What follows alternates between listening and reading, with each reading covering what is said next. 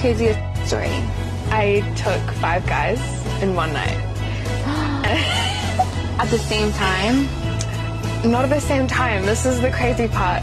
They didn't know that I was taking turns on each of them because I would just be the one that was awake and then I'd wait for him to fall asleep and then I'd move on to one of his friends. And I did this with the whole group Oh my god. in one night. Yeah.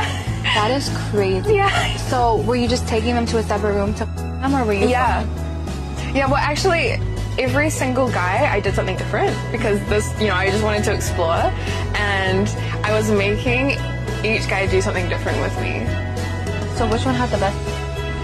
Oh my gosh, it was probably the third guy. He was one of my friend's boyfriends and she has no idea.